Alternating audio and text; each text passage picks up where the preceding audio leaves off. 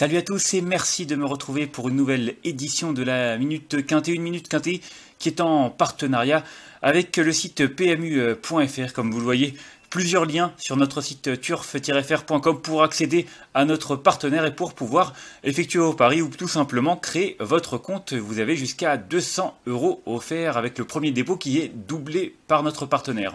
On va parler euh, du Quintet Plus de ce mercredi 22 juin, la septième étape du Grand National du Trot. Hein. ce sera sur l'hippodrome de Toulouse, Réunion 1, euh, la première course du euh, programme avec 15 concurrents au départ.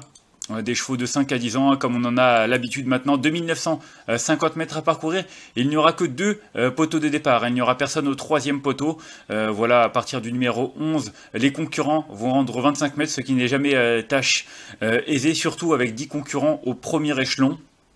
Mais bon, la piste est sélective, on peut adopter toutes les tactiques, donc voilà, normalement, toutes les bonnes chances devraient réussir à s'exprimer, à faire leur valeur. On va rentrer dans le vif du sujet. J'ai retenu en tête le numéro 15, Gangster du Vallon, qui descend nettement de catégorie. Hein. La dernière fois, il courait avec euh, Pré, Ampia, MDSM. Il a terminé deuxième euh, des Ducs de Normandie derrière Étonnant, en battant notamment euh, un certain Clean Game ou Ampia MDSM. Il a un, palmarès assez flatteur. Hein. Il avait terminé deuxième du Critérium des 5 ans l'année dernière. C'est un bon droitier hein, également. On l'a vu notamment euh, du côté de Caen. Et puis, il faut savoir qu'il a terminé troisième de cette épreuve l'an passé.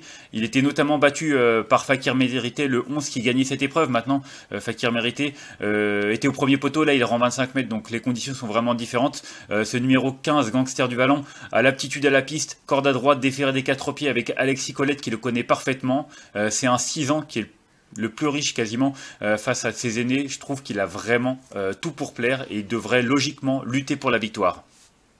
Ensuite, en deuxième position, j'ai retenu le numéro 4, euh, de Muse. Alors lui, vous le voyez, il est irréprochable, euh, pensionnaire de Jean-Michel Bazir, qui s'essaye à, ce niveau. Il reste sur une belle victoire du côté de Vichy. On l'a un petit peu laissé faire ce qu'il voulait sur l'hippodrome de Vichy. Il y avait 3500 mètres à parcourir, pas beaucoup de partants. Du coup, il a pris tête et corde.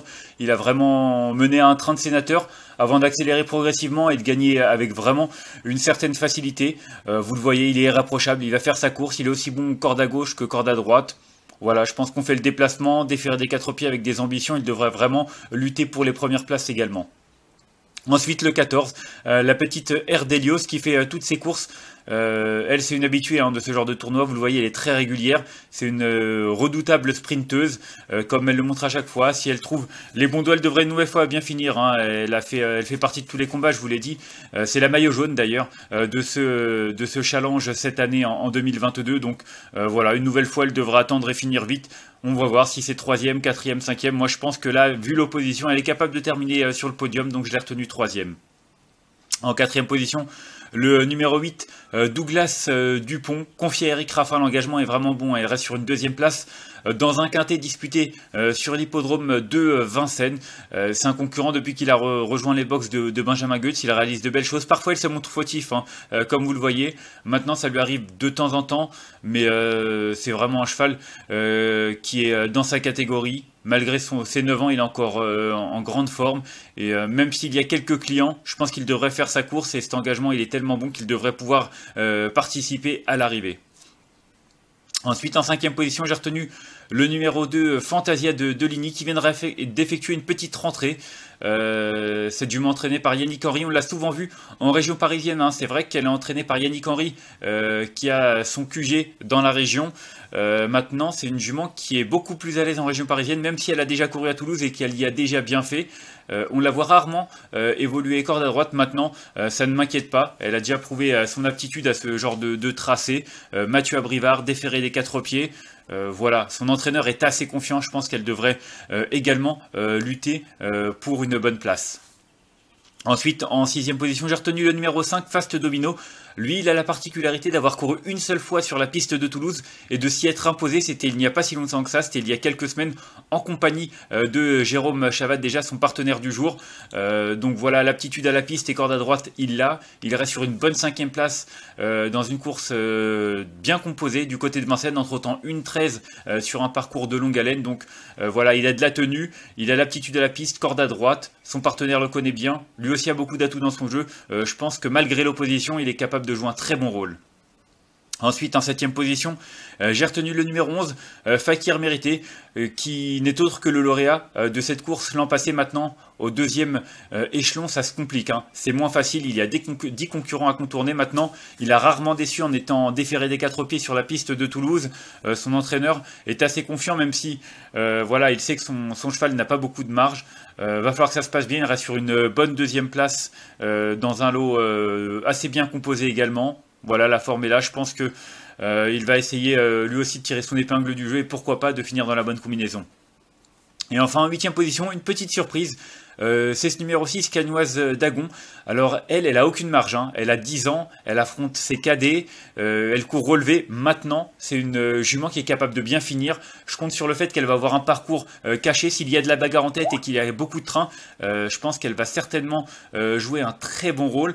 Et peut-être pas pour les 3-4 premières places, mais glisser là en fin de combinaison, je pense que c'est vraiment l'outsider qui est capable de surprendre à Bellecote, ce numéro 6.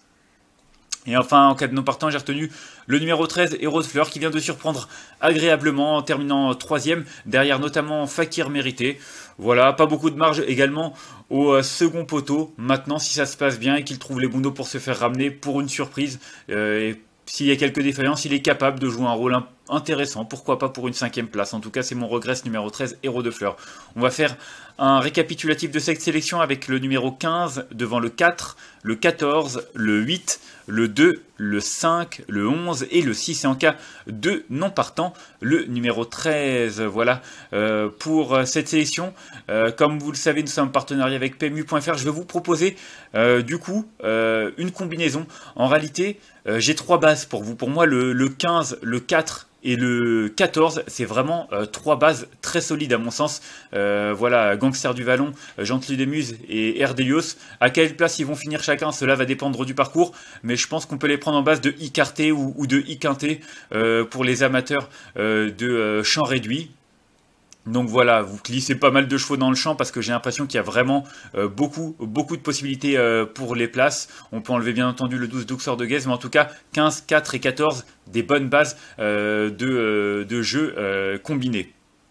Donc voilà, vous pouvez euh, cliquer et accéder à notre partenaire PMU.fr en cliquant sur ces liens euh, qui sont assez nombreux sur notre site pour pouvoir euh, bénéficier d'exclusivité si vous avez déjà un compte ou alors pour avoir jusqu'à 200 euros offerts si vous mettez de l'argent, vous avez votre premier dépôt qui est doublé.